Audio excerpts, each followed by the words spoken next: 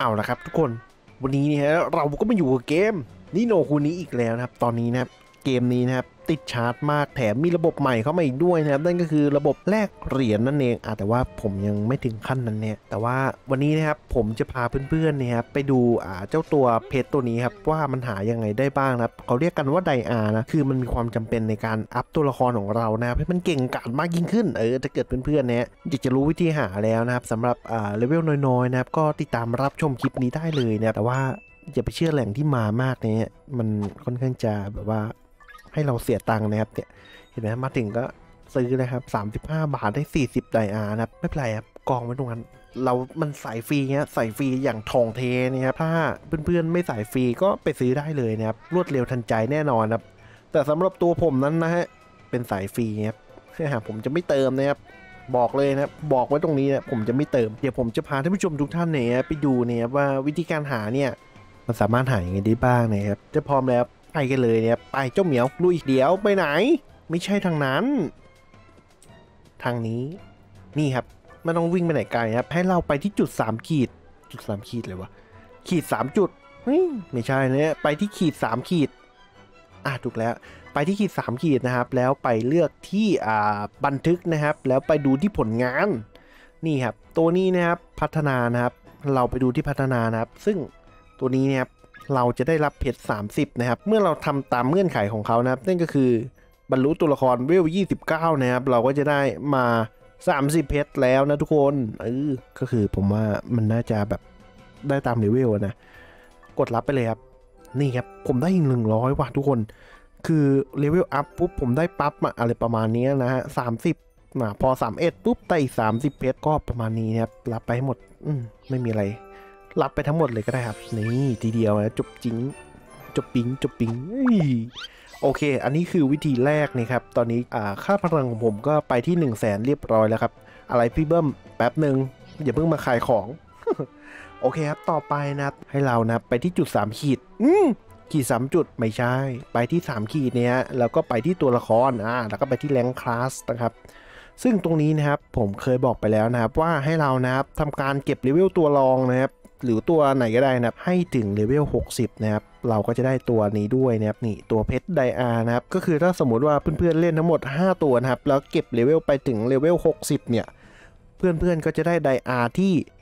1,000 คูณ5 เนี่ยครับ ก็ประมาณ 5,000เนี่ยทุกคนนะอื้อหือจุกๆฮะ หรือถ้าเกิดท่านผู้ชมเนี่ยไปที่เลเวล 80เนี่ยก็ได้อีก 5,000เนี่ยแต่ว่า กว่าจะไปได้นะโอ้โหเลือดตาแทบกระเด็นบอกเลยครับว่ามันยากมากๆ แต่ก็ถ้าเกิดเพื่อนๆพยายามเนี่ยก็ไม่ต้องเติมเนี่ยก็ไปได้เรื่อยๆนี่ครับอ๋อแล้วดูอันนี้ครับเลเวลร้อยเนี่ยครับหนึ่งร้อยนะสามารถรับได้ถึงสองพันเลยนะทุกคนนะ เออว่ะอย่างนี้ผมไปปั้นตัวให้ได้สักห้าตัวนะครับแล้วก็เก็บเลเวลให้ครบร้อยเนี่ยผมจะได้ทั้งหมดเท่าไหร่นะ calculated แป๊บหนึ่งนะทุกคนนะหนึ่งพันคูณห้าห้าพันหนึ่งพันคูณห้าห้าพันรวมกันสองอันนี้ก็หมื่นหนึ่งแล้ว รวมอันนี้อีก ตัวละหมื่นห้าหมื่นป๊าบจุกจุกครับทุกคน ตัวละหมื่นห้าตัวก็ห้าหมื่นห้าหมื่นบวก อันนี้หมื่นสองหมื่นเนี่ยเบ็ดเสร็จทั้งหมดนะ ผมจะได้หนึ่งสองหมื่นเพชรเลยนะฮะทุกคน โอ้โหถ้าตีเป็นเงินมันเท่าไหร่วะ ผมอยากจะรู้จริงๆอะแต่ผมขอเช็คซะหน่อยดิ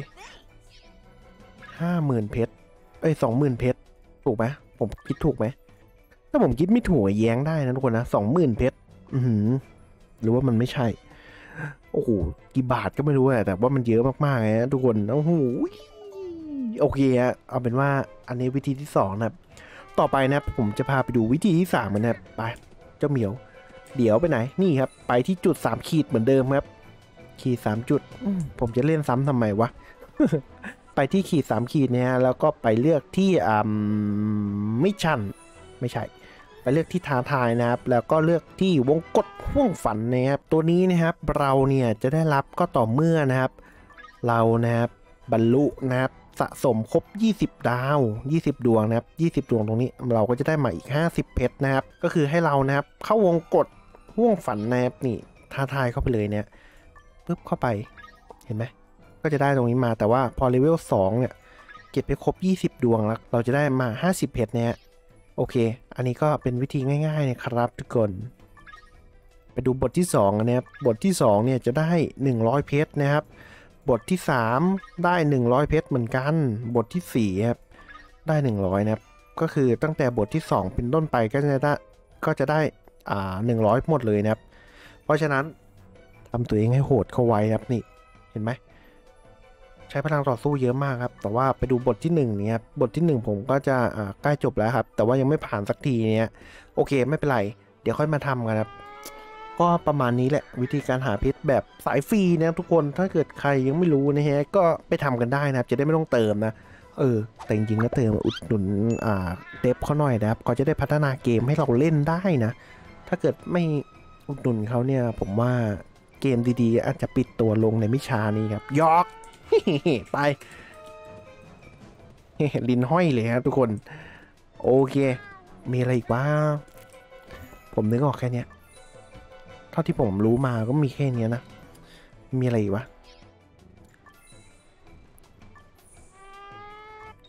อืม ไม่มีอะไรแล้วมั้ง เออ อย่าลืมมารับของฟรีด้วยนะทุกคน ไม่เกี่ยวอะไรเลย ไม่เกี่ยวอะไรกับเพชรเลย โอเค ก็น่าจะประมาณนี้แหละครับ ทุกคนนะครับ แล้วก็ไม่มีอะไรแล้วประมาณนี้จบ จบปิ้ง จบแล้วนะทุกคนก็คลิปนี้ไม่มีอะไรและท่านผู้ชมก็อย่าลืมไปทำกันนะไม่งั้นเดี๋ยวไม่ได้เพชรฟรีกันนะครับโอเค ก็ประมาณนี้นะครับสำหรับคลิปนี้ถ้าเกิดเพื่อนๆคนไหนนะครับ เดี๋ยวหันตูดหันมา ถ้าเพื่อนๆคนไหนนะครับถูกใจหรือว่าชอบใจยังไงเนี่ยก็ฝากกดไลค์กดแชร์กด subscribe เพื่อเป็นกำลังใจให้ผมด้วยนะครับสำหรับวันนี้เนี่ยก็ต้องขอตัวลาไปก่อนนะครับ แล้วเจอกันใหม่ในคลิปหน้านะ อยากให้ทำอะไรก็คอมเมนต์ไว้ได้นะครับ แล้วก็ถามอะไรหรือว่าอยากจะอ่าเสนอแนะวิธีแนวทางการเล่นให้เพื่อนๆคนอื่นได้รู้เนี่ยก็คอมเมนต์ทิ้งไว้ได้เลยนะครับอ้อผมลืมบอกไปว่าผมไปได้โค้ดมาเพิ่มนะครับ ก็ลองไปดูในคอมเมนต์แล้วกันนะครับ เดี๋ยวผมทิ้งไว้ให้นะอย่าลืมไปกรอกนะ นี่จะได้หมวกเท่ๆน่ารักน่ารักแบบผมผมๆเนี่ยน้องแมวน้องแมว โอเคไหมาทุกคนโอเคไหมโอเคไหมโอเคแล้วพี่เพิ่มไปแล้วนะครับทุกคนเจอกัน see you